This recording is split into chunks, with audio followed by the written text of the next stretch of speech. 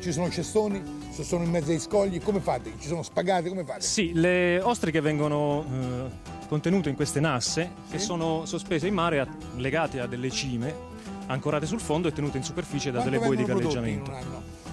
E in un anno, quest'anno arriveremo a circa 3.500 quintali. Grazie Matteo, grazie ancora e in bocca al lupo per tutte queste ostriche. Spero che i cittadini di Manfredonia riescono a capire quel valore aggiunto che tu hai dato a questa bellissima città. Grazie, noi siamo con il presidente Nunzio Stoppiello, presidente del mercato ittico di Manfredonia. Tutto questo pesce è tutto pescato qui a Manfredonia? Sicuramente pescato dai nostri pescherecci. Branzino, rombi, triglie, mazzancolle, merluzzi, gamberi, mormore, guarda, coppi, code pescatrici, polipi veraci, seppie, mega, sì. mega. L'ho detti tutti, le neonate addirittura. Neonata di bianche, è la marineria più importante per la produzione della neonata. Ma quanto viene prodotto di tutto questo pesce?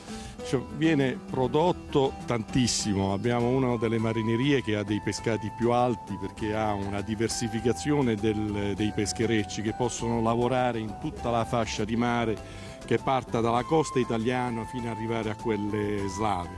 Il nostro prodotto va in tutta Italia, è un prodotto di estrema qualità che purtroppo oggi in Italia siamo invasi di prodotti di importazione, suggelati, decongelati, Perù, di, Giappone. Di tutte le maniere. Quindi noi stiamo come consorzio del mercato ittico ipotizzando un minimo di lavorazione del prodotto proprio per andare incontro a quelle casalinghe che oramai non hanno più quell'abitudine a trattare il pesce.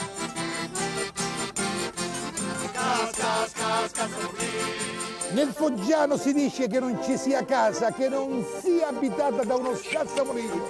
Il folletto dispettoso che sconvolge il sonno sedendosi sulla pancia fa cadere i panni stesi, spaventa il vostro gatto o nasconde gli oggetti. Cazzamorillo è un folletto, è un folletto che arriva sempre di notte ed è un personaggio scherzoso, molto scherzoso, fa molti dispetti, però ha un difetto, se gli togli il cappello dalla testa lui, lui eh, gli puoi chiedere qualsiasi cosa.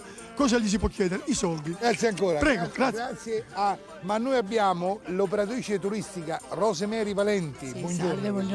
Buongiorno. Lo scazzamoriglio o il folletto no? Sì. si trova solo nel Foggiano o abita, o abita anche in qualche altra città? Sicuramente, a parte nel centro meridione, dove poi Napoli, la figura del monacello napoletano è quello più famoso senz'altro, ma lo troviamo anche nel Veneto con il nome di Scalba, Scalbadelo che è un folletto particolarmente dispettoso, si nasconde nei boschi, ma lo troviamo anche nella cultura inglese, si chiama il Bogart, che si nasconde nelle crepe delle case e nelle, negli anfratti degli alberi, quindi sempre con lo stesso significato. Ma da queste parti c'è un detto, vuoi vuoi cocci o vuoi, vuoi soldi? o vuoi soldi sicuramente. Vuoi cocci o vuoi soldi? Cioè vuoi i cocci, niente, Sì. roba da mangiare o, O i soldi? È chiaro eh. che la gente dice che vuole i soldi, Ma lo scazzamorillo può, può portare fortuna? sempre.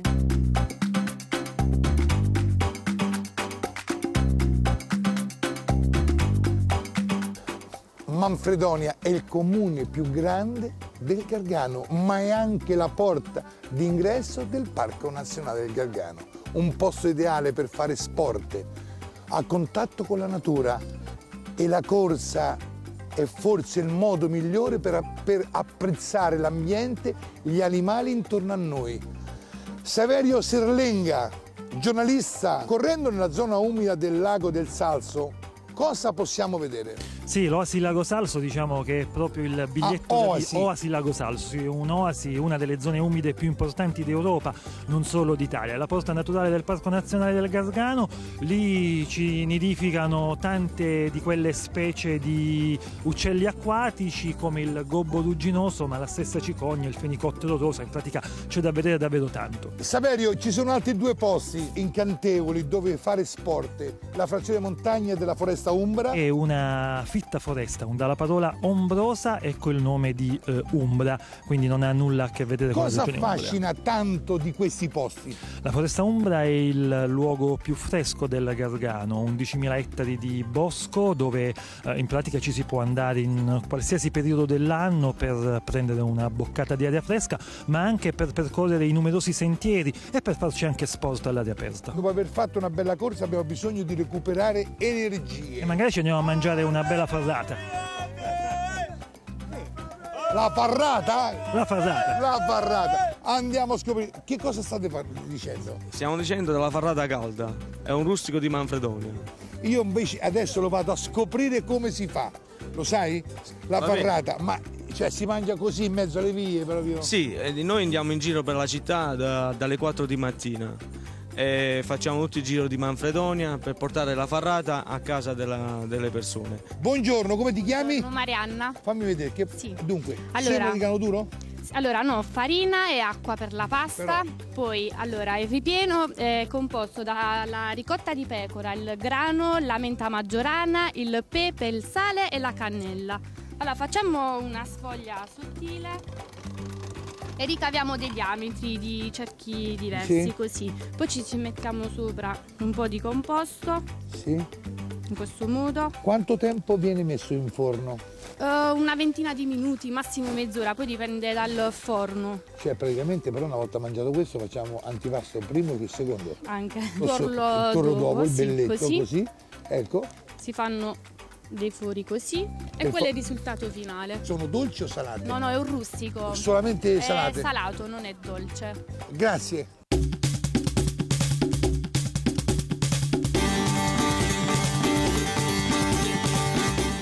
E siamo qui in compagnia di quattro associazioni, però vengono rappresentate solamente tre perché il quarto andava a mangiare, aveva fame. Siamo in compagnia di, di Giovanni Aspro. Scusami Giovanni, chi vincerà quest'anno questa manifestazione? Ma siamo sportivi, vinga il migliore. Chi ha vinto l'anno scorso? Eh, sottoscritto ha fatto il primo posto e che seguo con l'altro che manca, diciamo. Matteo Trotta. Trotta. Scusa Matteo, ma ogni associazione quanti componenti siete? Beh, dipende, ci sono periodi in cui siamo 7-8 persone, diciamo i periodi quelli iniziali, poi diventiamo 30-40 persone. Muscatiello, Maria, Maria Grazia, Maria sì. Grazia. Scusami, ma sei come loro che sei senso? proprio- beh, Magnanima? Magnanima, sì. No, sì. no, no, vinciamo noi. Ah, brava, grazie. Prego.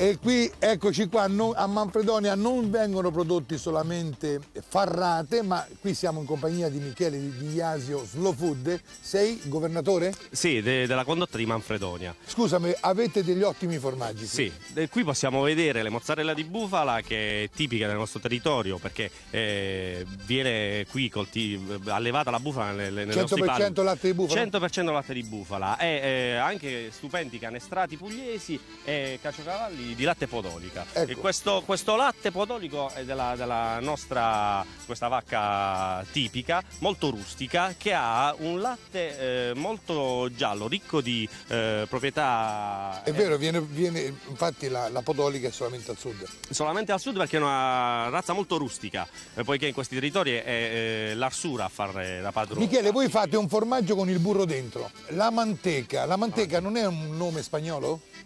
Eh, sì, deriva dal- da queste colonizzazioni aragonesi e spagnole venute nel 400. Scusa, Michele, apri un po'. Qua, spaccala per così però, eh.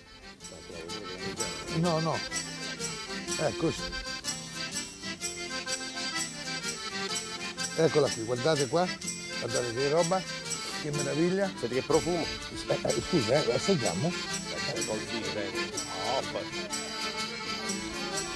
Evviva Manfredonia! Michele, andiamo a parlare della gastronomia locale qui a Manfredonia. Che è la ciam- ciambonta? La ciambotta, sì, ciambotta. che è un piatto tipico di Manfredonia fatto con il pescato di sciabica, che è una pesca che ci permette di pescare il eh, pescato minuto. E, eh, tu- in questo caso la particolarità sta nel fatto che eh, si degusta questa zuppa di pesce con la cipolla a parte, cruda. Con crostini di pane e possiamo vedere che qui ci sono eh, canocchie, eh, gallinelle d'acqua. Cioè, eh, scusa, Michele, stracci. quella sarebbe una porzione? Quella è la versione adesso per farla vedere, però non è proprio quella, insomma, è un po' più piccola. Scusa, tu sei lo chef? Sì. Come ti chiami? Cavallaro Angelo. Scusami, ma eh, viene tranciato il pesce o viene trattato No, intero? intero, solo qualche pesce viene tranciato, tipo quelli più lunghi. Quelli più lunghi, Sì. no basta così. No, se no intero, va bene intero. Fondo che fa fondo fa. Fondo di aglio. Questo qui che cos'è? E Questa è la favetta fatta con eh, rape e, e- e fave. Eh, sembra il pane tostato, prima di tutto, e queste fave che sono tipiche anche del nostro territorio, che sono fave di carpino. Mamma